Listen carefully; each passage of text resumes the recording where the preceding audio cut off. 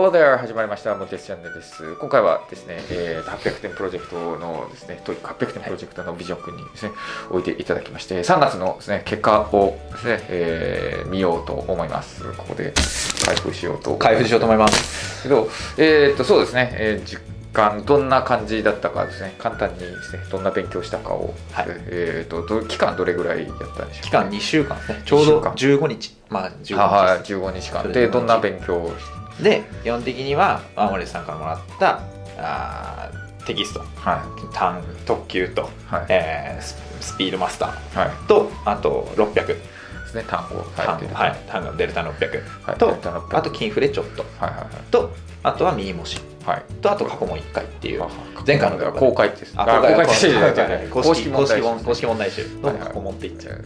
あのここ過去問は韓国でしか発売されない使ってないですね。でまあで時間的には大体。時間的にはだいたい100いってないですね。100はいってないですね。ははは。80ぐらい。80時間ぐらい。80ぐらいですかね大体。でですね。で途中怠けてて西さんにブチ切れられる ちょっと怖かったです。すいませんでしたそれちゃんとやらないってそれ言われちゃでもおかげねであの後はもう,、はい。もう挽回してもなるほど。深くかがんで高く飛んだみたいな感じなるほど。なるほど。でカエル飛び。カエル飛び。みたいな感じでそうです。今日も30分遅刻してくるすいませんでしたごめんなさいちょっと事情が事情がありましてはい。はいじゃあ早速。あ最初のその何点だったんでしたっけ、えー前の。当時ですか？当時 265? 265点、はい、ぐらい。265点からはい。ですね、えーでまあ二週2間月勉強してあまあそっか2週間ぐらい。2週間。で3月受けてさあどうたのかどうだったのかってことですね。265からですね、うん。えー80時間ぐらい勉強してそうですね。どうだったのか。まあ上がったのかどうかですね。開けますんで。え待ってください。マジですか？もうそんな急に開けるんですか？開けます。俺まだちょっととあの、えー、まで心の準備がで。きてないあでもあの2週間。あちょっとやばい。もうこれ以上喋って言い訳がましいな。まあまあじゃあ、えー、なんかこんな急に来るんですちょっとね。えーっと、はい。あの住所とか見えないようにちょっと折りたたみまあすんで。そういうあるんですねはい。ちょっとこの後解説とかしましょうよなんかこの。ああまあまあまあどういうレベルなのかっていうのは。何が弱いねとか、はいはい。何もっとこう頑張ってこうとか、そうあやっていきたら。ーなるほどね。えー、ほうほうほう。え俺先知ってこれあれ何？あのあれ年齢とか隠す？あ別になんあまあ住所ぐらいは。あ、まあ、住所は絶対住所そうですね。ね年齢とかは別に。隠しましょフェイスブックにも出るからうあそうなんですはい。大丈夫。じゃいいですかね。じゃあ点数点数。はい先生発表しましょうかっていうかまあえー、ちょ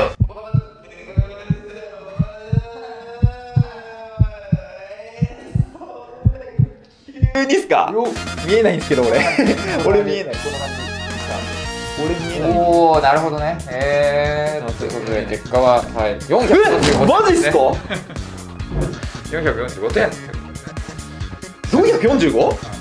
それいいの悪いのどっちなの？ちょっと分かんない。え待ってください。ちょっと前回265まあまあ200あまあ200点以上え200点はいってないか。180 180点アップですね。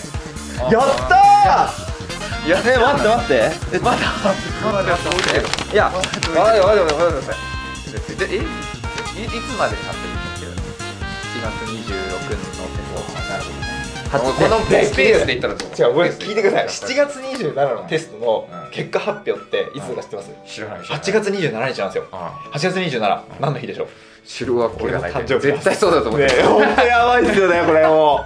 うじもう1年間今年人生変わりません。26歳の人生あえー、そういう形くであでも 445? えー、とリスニングが210でリーディングが235ですね。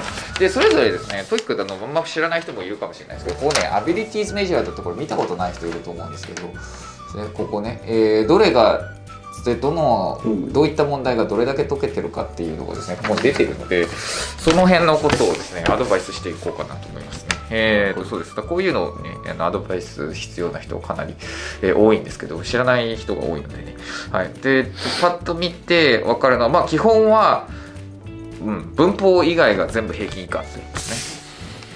今トゥルルってなんか ちょっとはいかけておいてください えだから、えーそうですね文法だけが平均が67%に対して75%でそれが超えててああと語彙も超えてるか。語彙がえー、と54が平均なんでし71やっぱまあ単語と文法やったんでがっつりですね。そこは上がってるんじゃないかなって思いますね。で、えっと、それに対して他は全部平均以下でここをどう上げるかですね。で、えー、とポイントとしてはリーディングの方が高く出てるっていうのがですね、えーこれはまあ逆にならないとダメです。リスニングの方が高く出ないといけないんで。そうですリーディングの方が高く出てる人っていうのもまあえー、とある意味伸びしろはあるけど、えーリスニングで取れる問題をいっぱい落としてるっていうことです。はい。なんでリスニングの方が点数が高く出ないとダメなんですよ。えーですねえーで、えーとまず短い会話アナウンスナレーションの音で明確に述べられているものを、えー理解できるが38ですね。平均が60なので簡単なんですよこれ。だから簡単なところがリスニングの中で、えー非常に優しいところですね、が、えーとうん、こうダメになって同じように3番目。これが一番簡単なところなんですけど短い会話アナウンスナレーションなどにおいて詳細が理解できるって書いてあるんですけどこれが最も簡単です。だから平均も78ですね。だからパート2で Who だったら誰とか When だったらいつとかっていうのをそのまま答えで言ってくれてるやつで、えーあとパート1とかでも非常に簡単なですね、えーところなんでですね。えーとなんていうかね非常に優しいところなのでそこがもったいない。じゃあ落としちゃいけない要は誰でも得点源だ。そう誰でも得点源になるところが取れてないってことですね。だから優しい問題を落としちゃってるっていうのがこれが一番の問題点でしょうねで他のところはまだまだまあそうですね。この長めの会話とか長めのアナウンスっていうのはパート3、4っていうのはまだまだまあこの点数だったら、うん、まだまだ取れないっていうのが分かりますね。で、えっと、最後のやつが、えー最も難しいフレーズや文から話している目的が暗示されている意味が分かるっていうですね。この意図問題なんですけどこれが最も難しいんですよ。なので平均点も57になってますね。これが最も難しくて、で、ここを最終的には取れないと、やっぱ800いくためにはここを取ってほしいので、ここも多少ですね、まあ、全部取れとはじゃな言わないですけど、多少取れないといけないので、はいだからまあリスニングまだまだ上げなきゃいけないっていうのが、えー一番の課題かなと思いますね。うんリスニング超えられないと無理なんで。で、それに対してリーディングの方ですね。リーディングの中で、えっ、と、絶対取れなきゃいけないかな。えっ、と、最初が文章の情報をもとに推測できる平均あーなるほ52どなるほどで最も難しい。えーわけですね。で推測とあの文章中3つ目にある1つの文章中に散りばめられたっていうこの2つが難しいんですよ。この1番目と3番目ですね。なるほどなるほど。要は内容を理解してでそれに対するなんかこう問いに答える問題ああそれが、えーそうなんですけど、はい。えー、といわゆる情報が散らばってるやつとあとははちょ1番目のやつですね。この情報を推測できるっていうやつは直接書かれてないんですよ。そそのバッチリと。はいはいはいはいはい。ちゃんとその書かれた内容から推測できることとかっていうのを答えなきゃいけないわけですね。で、えっと、それに対して3つ目のやつっていうのは情報が散りばめられています文章中に。でそれをこの照らし合わせて答えを出すってやつですね。でだからこれをねできるようにならないといけないわけですね。うん。こういうのが非常に重要です。うん。でそれに対してやっぱり一番の問題っていうのは文章中の具体的な情報を見つけて理解できるっていうのがこれが簡単なのにへえ。